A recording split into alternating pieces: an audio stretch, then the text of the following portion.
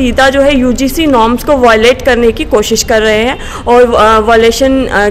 अखिल भारतीय विद्यार्थी परिषद की जम्मू कश्मीर इकाई ने असिस्टेंट प्रोफेसरों की भर्ती यूजीसी के नियमों के तहत करने की मांग की है। विद्यार्थी भवन अम्फला में आयोजित एक पत्रकार वार्ता में अखिल भारतीय विद्यार्थी परिषद की राज्य सचिव अक्षी बलोरिया ने कहा कि असिस्टेंट प्रोफेसरों की भर्ती में जिस प्रक्रिया का पालन किया जा रहा है वे सीधे तौर पर यूजीसी के नियमों का उल्लंघन किया जा रहा है। अक्षी बलोरिया ने जम्मू कश्मीर में पब्लिक यूनिवर्सिटी बिल को मंजूरी देने का विरोध जताते हुए कहा कि पब्लिक यूनिवर्सिटी बिल के लागू होने से विश्वविद्यालय की सबायता पूरी तरह से प्रभावित होगी और इसके लागू होने से विश्वविद्यालय में नौकरशाही का दखल भी बढ़ेगा।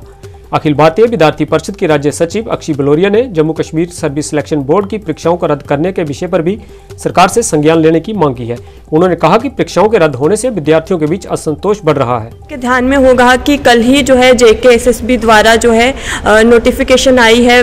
फाइनेंशियल अकाउंट असिस्टेंट के एग्ज़ाम को लेकर के पोस्टपोनमेंट की। और काफ़ी लंबे समय से ऐसा देखा जा रहा है कि जम्मू कश्मीर में जो एग्ज़ाम्स होते हैं नोटिफिकेशन आती है, या तो वो स्क्रैप हो जाती है, या तो वो कैंसिल हो जाती है, या पोस्टपोन हो जाती है, जिसकी वजह से विद्यार्थियों के बीच में जो है एक असंतोष का भाव भी है। और इसके लिए कहीं ना कहीं जे को जो है जिम्मेवार जो है विद्यार्थी और विद्यार्थी परिषद जो है ठहरा रही है कि लंबे समय से कोई भी एग्ज़ाम जो है सही तरीके से कंडक्ट नहीं हुआ है। और इसके साथ ही साथ आपके ध्यान में होगा कि पीएससी जो असिस्टेंट प्रोफेसर का सिलेक्शन क्राइटेरिया है, उसका क्राइटेरिया की एक नई नोटिफिकेशन आई है। पहले नोटिफिकेशन आई थी जिसमें अकेडमिक्स को टोटल टेन मार्क्स जो दिए गए हैं और विद्यार्थी परिषद के विरोध के बाद और विद्यार्थी परिषद ने समय समय पे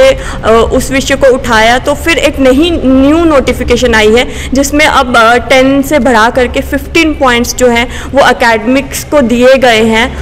पीएससी द्वारा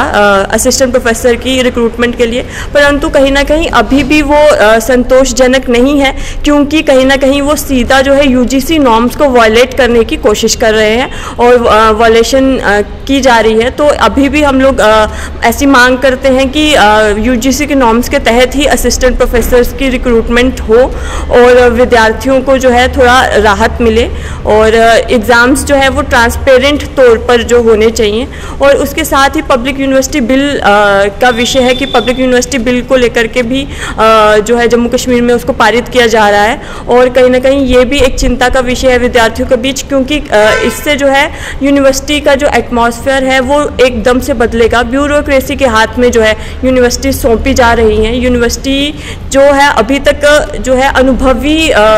प्राध्यापक रहे हैं, जो अनुभवी लोग रहे हैं अकेडमिक्स में, वो संभाला करते थे और इस बिल के आने के बाद कहीं ना कहीं डायरेक्ट जो है ब्यूरोक्रेसी की इंटरफेरेंस उसमें होगी, जो कि यूनिवर्सिटी के एटमोसफेयर के लिए सही नहीं है। तो हम विद्यार्थी परिषद मांग करते हैं कि इन तीनों ही विषयों को एल सरकार जो है इन पर संज्ञान ले और जल्द से जल्द इन पर कोई कार्रवाई करे।